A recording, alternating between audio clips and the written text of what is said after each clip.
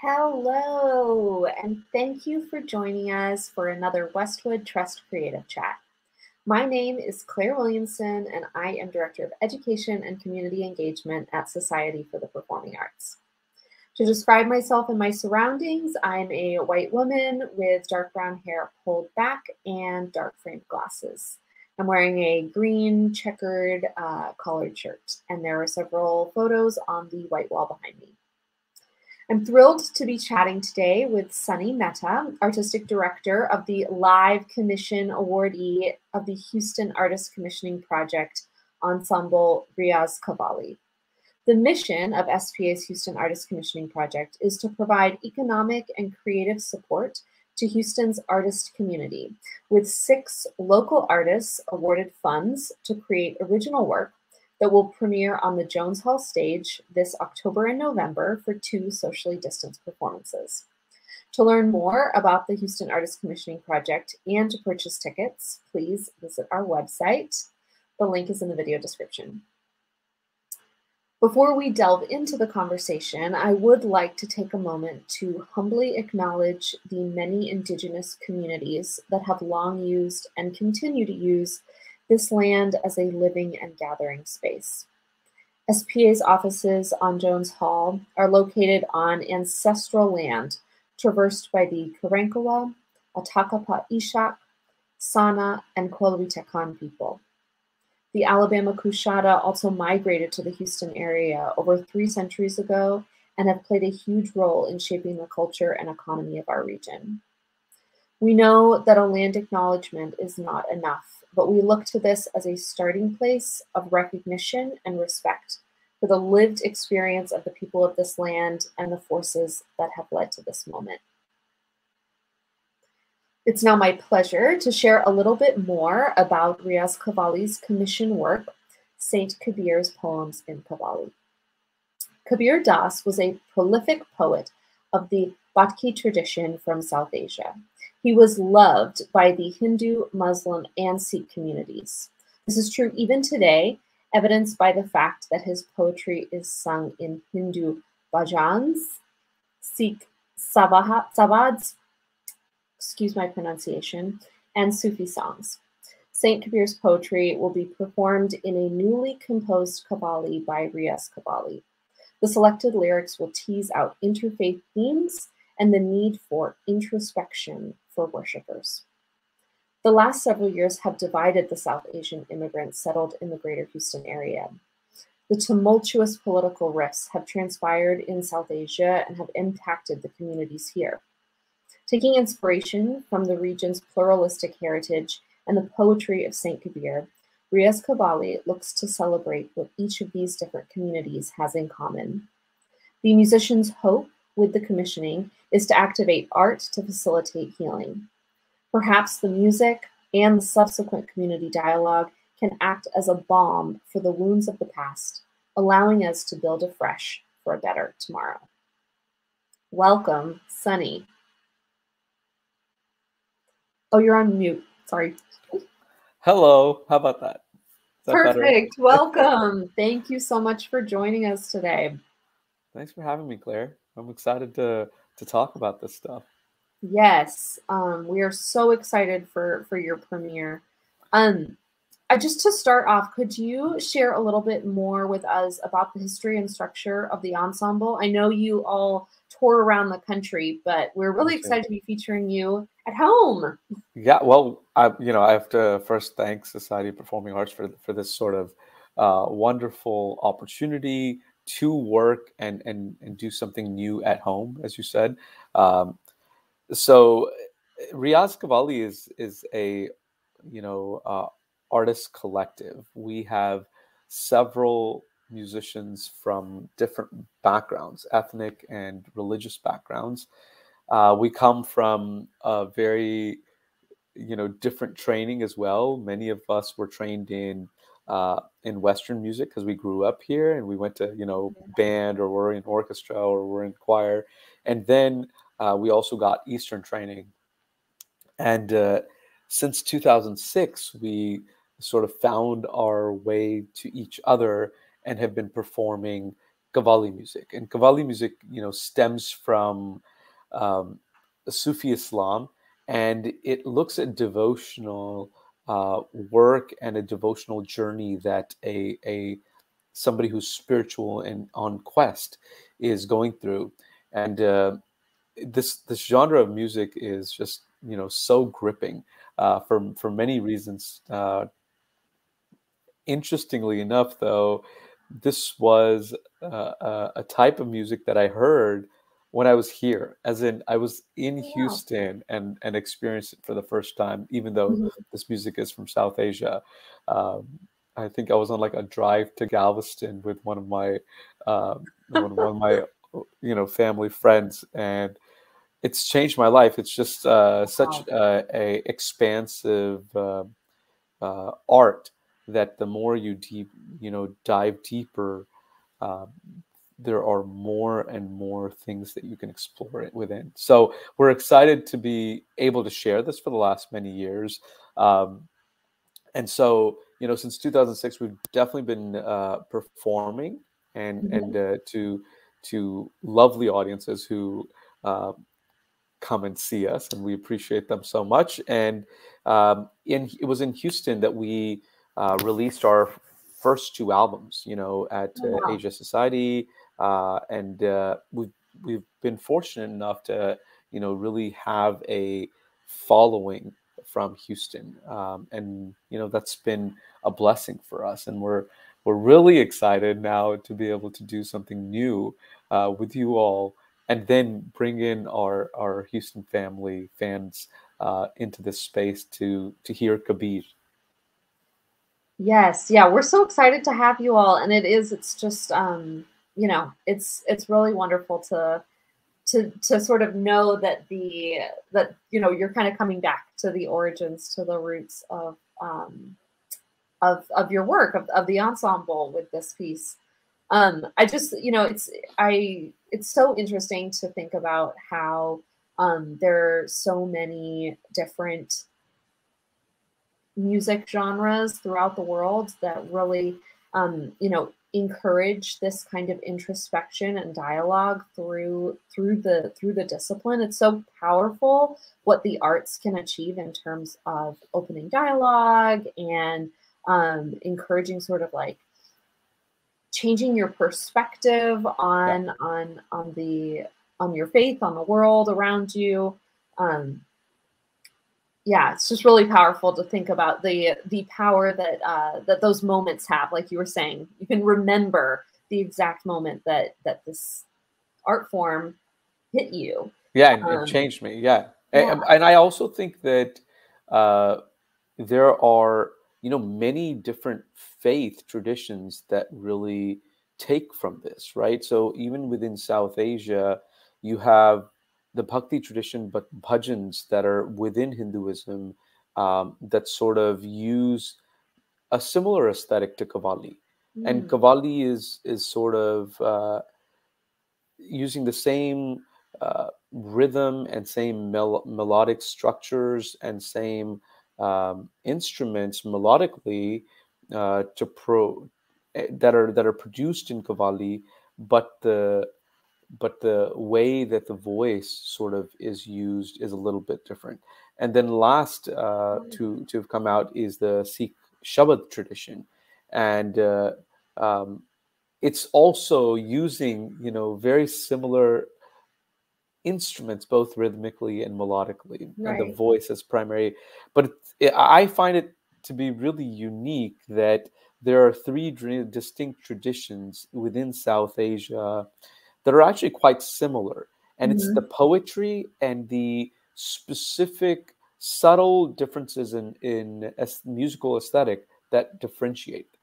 And, uh, okay. you know, a, a, um, a poet like Kabir really can can be heard in all of these three now distinct traditions and i think that's pretty phenomenal Wow. Yeah, that's really fascinating to think about that like and also how um Qawwali could be can be like you can see how it's an origin for these mm. other um, these other disciplines that uh, that have sort of adapted and developed their own structures and, like you were saying, um, sort of formats.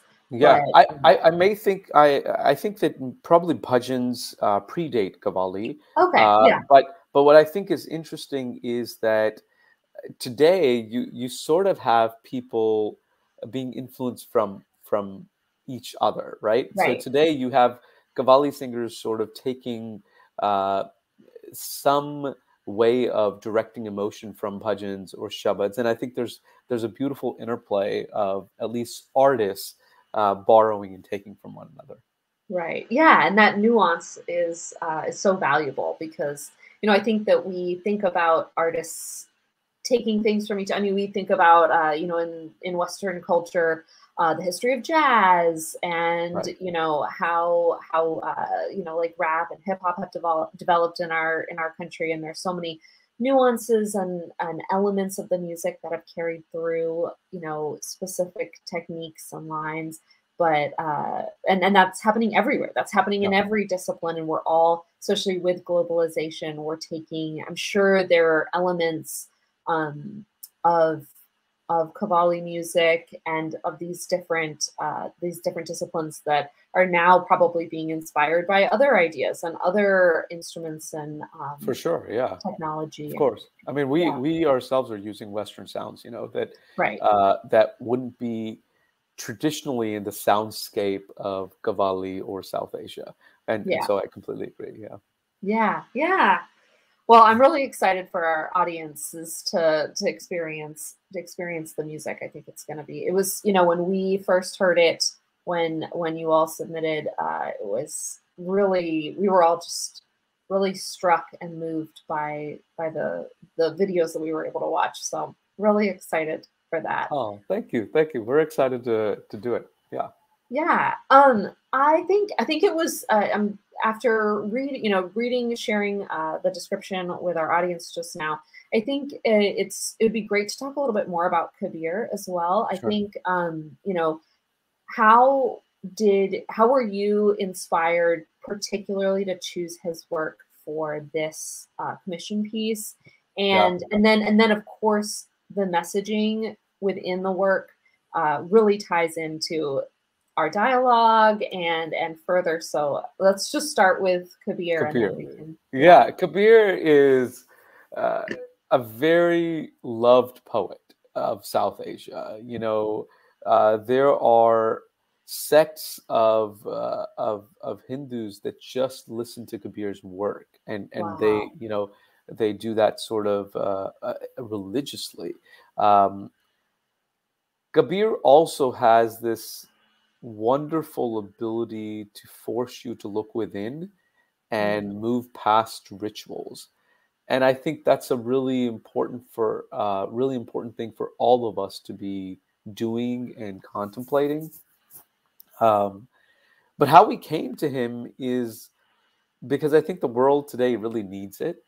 Uh, we unfortunately in in south asia have been trying to um, divide, unfortunately, that has bled into immigrant communities here that were divided.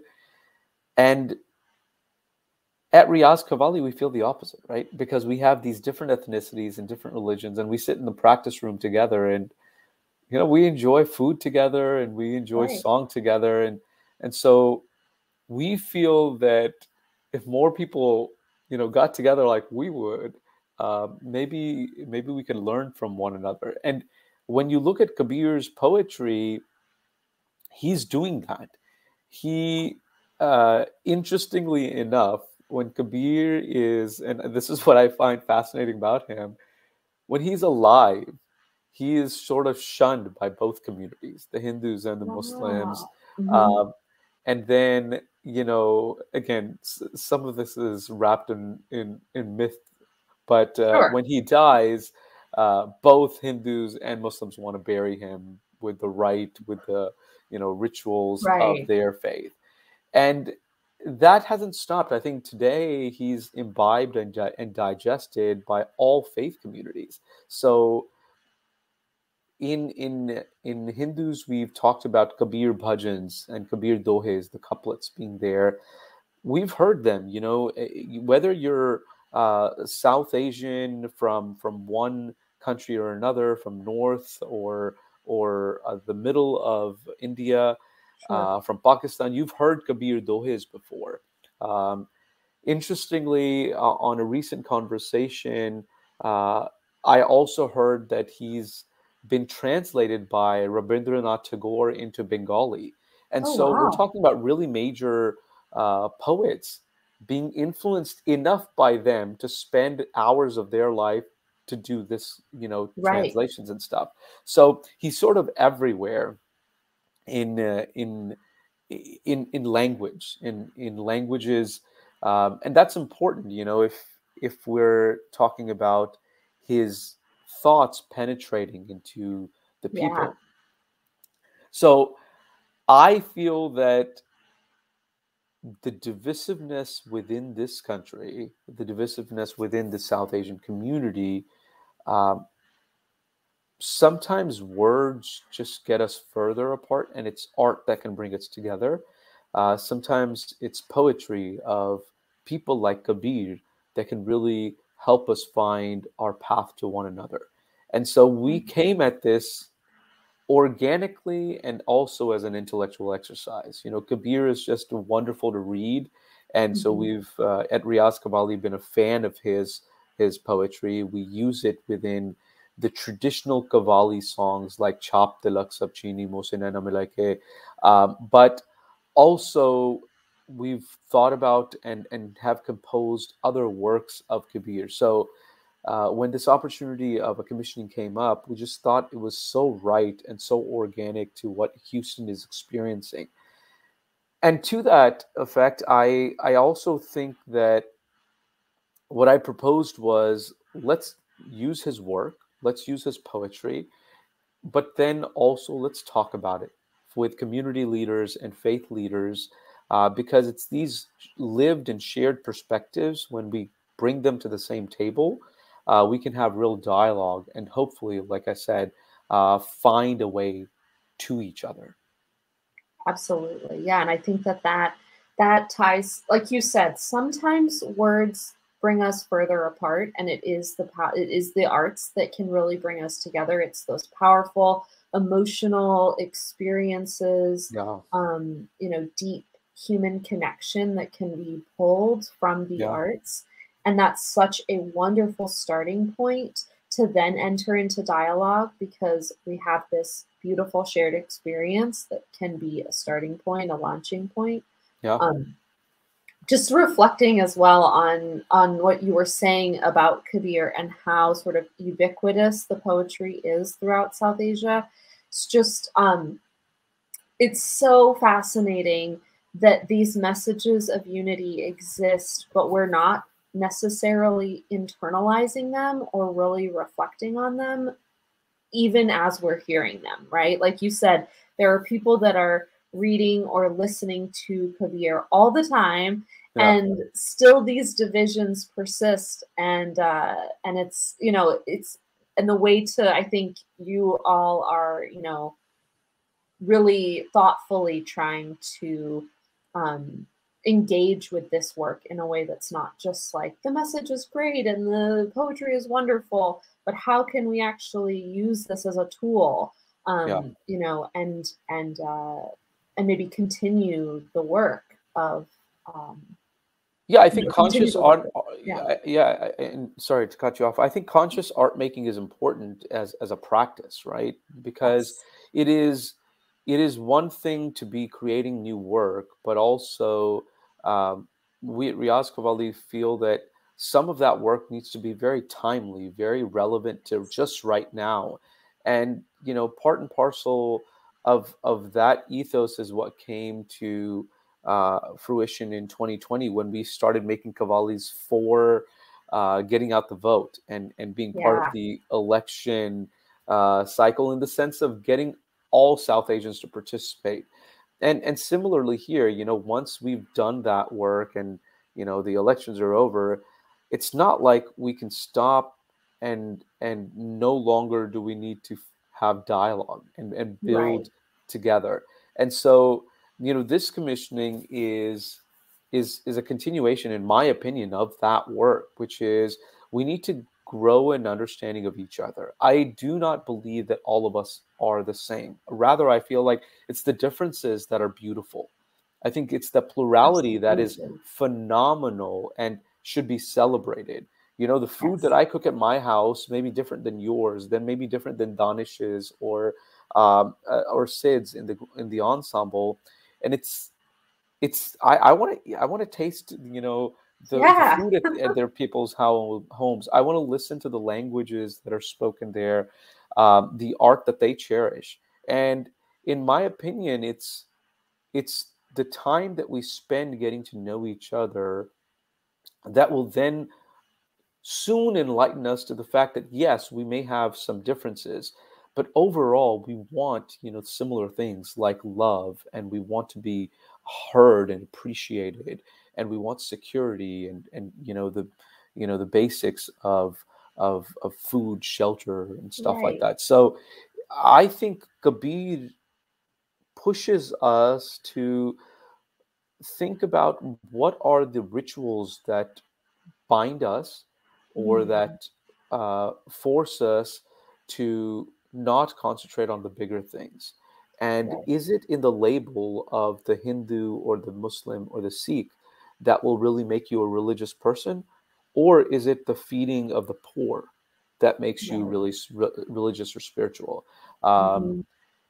uniquely you know one of the one of the uh, verses that we're using for this commissioning is something that uh, i've been thinking a lot about which is kabir talks about in in one of the verses that in a man and a woman the same person resides and that's an important for important uh, so, so uh, sorry in a man or a woman the same divine light resides and Mm. for Wow. us i this is an important thing to think about given that uh, the female perspective is not as often heard and celebrated Right. in south asia um, i'll specifically talk as a qawwali artist most of the qawwali songs that are written are by males right Right.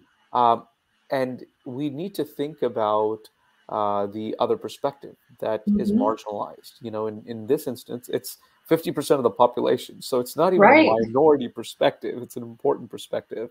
Uh, and, the, and the same thing goes for, for artists. You know, Riyaaz Qawwali is a group of guys. We need to think about how we can collaborate with female artists, musicians, um, Right. and Kabir does that in one sentence. You know, he says, you know, within a man and a woman, divine light resides. There are not two separate things. Right. And uh, you know, the next piece is, you know, when you're a child and you're crying, it's that same light, and the person who takes Mm. care of it is also the same light. Same And light. I, I just find that his poetry is so phenomenally deep, and even as woke as I may think I am, I still have to be reminded of, uh, you know, equity, equity and inclusion, even in, in my own practice. Yeah. Well, and I think also um, the reminder, the reminder of equity and inclusion, absolutely, but also the reminder of the humanity of every single person around you. You know, Mm. the we think we often get caught up in dialogue and in debate, and it's really easy to uh, dehumanize or demonize people on the other side, or you know, people who aren't sort of in your orbit.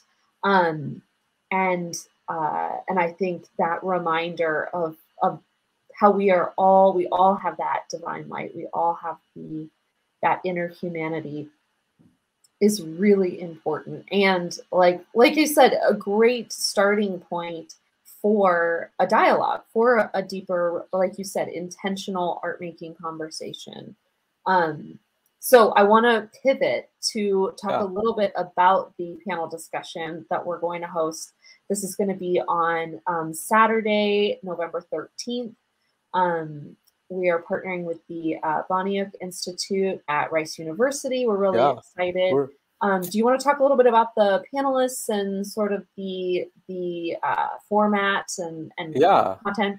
Uh, well, I, first, I'm very excited about it as well. I think it'll be after people have heard the piece, or we'll be hearing it that evening, and and uh, I think it'll set us up for a really lively conversation.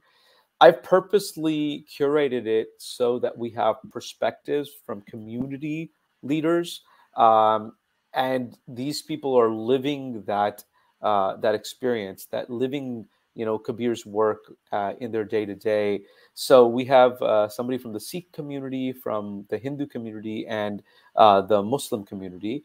Again, all of uh, these these people have familiarity with Kabir's work, but also an understanding of how it gets digested within their community, right? and I, you know, we'll be talking about uh, pieces of poetry or poetry uh, uh, couplets that are really popular within uh, their faith traditions.